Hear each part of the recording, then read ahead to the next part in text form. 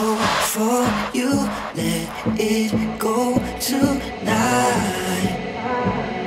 I will let